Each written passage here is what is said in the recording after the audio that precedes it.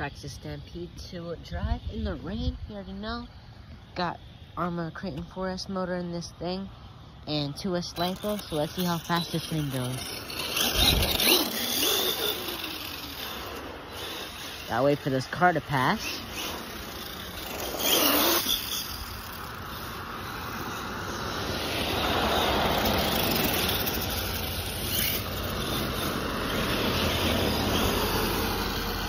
So not that fast.